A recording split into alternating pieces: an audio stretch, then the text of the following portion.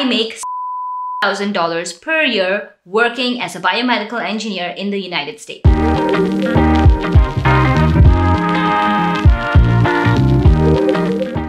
You've seen me make so many biomedical engineering videos because obviously I'm a biomedical engineer. I've studied at Ivy League universities and with all this experience, I have to give you guys you know, this can probably help some of you guys out there. But the one thing that I haven't addressed is how much does a biomedical engineer actually make? What kind of salary are you looking at if you're going to work in the United States? And in this video, we're going to talk about how much I make. I'm going to give you all the numbers flat out, no secrets. So let's get into this. All right, crazy Medusa family, we are in the 50K club now. Like, come on, the standards are getting pretty high, right? Um, but I can't help but notice that a ton of you guys are interested in pursuing biomedical biomedical engineering, whether you've already started with, uh, you know, a degree that you're in the middle of, or you're just thinking of exploring it and you're still in high school. But let's get a couple things out of the way. Now, even if you're interested in pursuing any degree, at the end of the day, you really want to know what kind of opportunities are there for that field and how much you could earn because financial stability is an important part of becoming independent and kind of building your future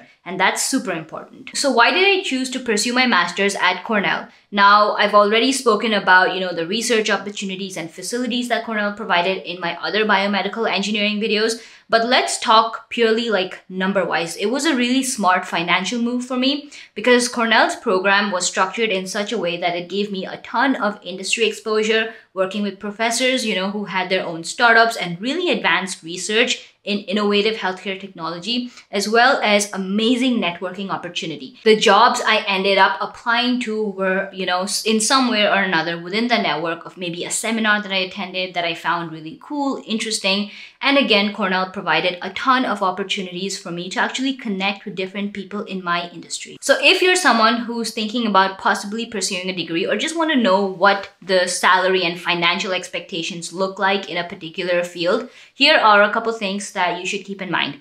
Of course, exploring your research and area of interest is one thing. But the second thing is find out if you want to go into academia or the industry. Now, with any degree, whether it's computer science, electronics, software, biomedical, you have these two areas. In a research-based field, you'll spend uh, you know, a ton of your time in the lab um, working on research that is, of course, innovative, cutting edge, but it may not necessarily turn out to be a commercial product. Whereas in the industry side of things, you're actually working on making something that an end user would use. Now, these are two very separate types of roles. So knowing which one you know you're interested in is a good idea to start. The second thing that I would recommend that you do is that find out what the salaries of this kind of roles are are currently. There's a good chance that you know 5 or maybe 10 years down the line the salary may increase a little bit but you know the differences that you see may almost be the same so you need to understand what you're in for and not be like very surprised by the end of your four four-year degree that you know hey i thought i'd be earning way more than this now this may seem a little intimidating if you aren't familiar with how to use platforms such as linkedin so skillshare is a great place to start with that now skillshare is an online learning community that offers some amazing classes on how to get the best of your LinkedIn profile, even if you're just in school. Now, I've seen numerous posts by professors of universities talking about their openings in their labs on LinkedIn and even, you know, industry-based labs. So if you aren't taking advantage of this, you're really missing out. Some of the classes on Skillshare that I found really useful for building a LinkedIn profile included LinkedIn for Career Changers by Debbie Tyson and How to Build a LinkedIn Profile or LinkedIn in Marketing by Patrick Dang.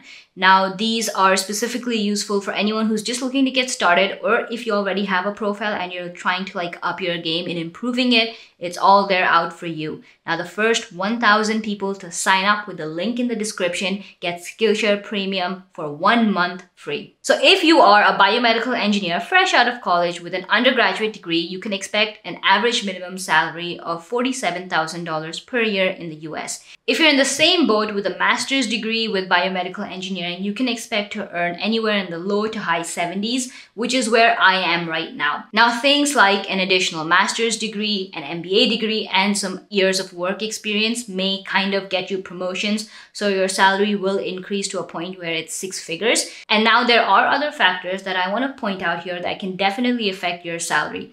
The first thing is the field of biomedical engineering you're in. Now, BME is a very vast field. Now, whether you're in regulatory or medical devices or molecular biology or genetics or just therapeutics or diagnostics, all these different areas can really like play around with the salary that you can expect. The second thing that I want to point out is depending on which city you're actually located in, your salary can vary a lot. Like someone, for example, doing the same job that I do in California may earn close to $150,000, whereas in upstate New York or maybe central um, US, the salary may be, you know, closer to 100 grand. This is to take into account living expenses of those states and also the fact that in general, things like housing, food, gas, all these things are more expensive in bigger cities. Now, these two things, that is in-field specialization and city variables, play a huge factor no matter which degree you're pursuing, not just biomedical engineering. So definitely keep these two things in mind. So before I end this video, let's talk about the 50,000 subscriber giveaway question for this video. Uh, comment down below with the hashtag incognito blueprints. What is your dream city to work in and what work do you want to do? I want to know, you know, don't forget to leave the hashtag in the comments and the 50k subscriber giveaway is on. So make sure you're commenting on every video. If you aren't subscribed to the channel, hit that subscribe button, smash that like button, and I will see you guys in the next one.